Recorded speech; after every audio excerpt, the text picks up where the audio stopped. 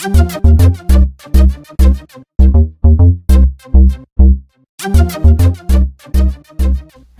guys, it's Delta249er here with a tutorial on installing Marglyph's Too Many Items mod for Minecraft 1.1.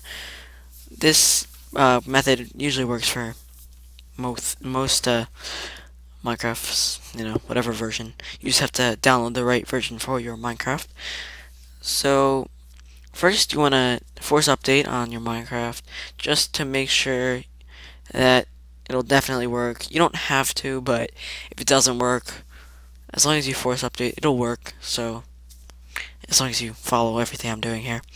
Um, so you want to go to the forums, and there will be a link in the description to this page. And you're going to need 7-zip or WinRAR. They're both free. Uh, I used to use WinRAR, started using 7-zip. They're both fine for what you need them for right now. And on the page, you want to scroll down to where it says download for Minecraft 1.1 or whatever your version is. Here you have all the other previous versions. And you want to click that. It'll take you to AdFly. Don't click anything. Just wait for it to say skip ad up here on the right. And there you go. Then click that. It'll download. Uh, make sure you save it somewhere that you know where it is.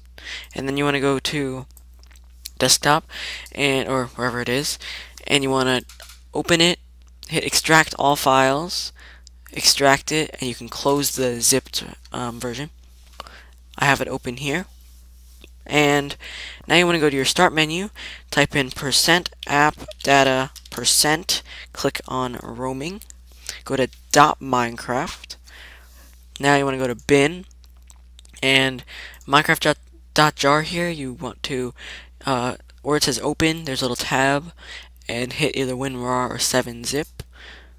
And then you want to, I'm just going to arrow snap these to the side. And you want to go into the uh, Minecraft.jar and delete the meta.inf or meta.inf, whatever it is. Just hit delete, hit OK, or yes, I don't know what it is in WinRAR. And then in your folder with too many items, all the class files, you want to hit Control A or select all of them. And you just want to drag them into here.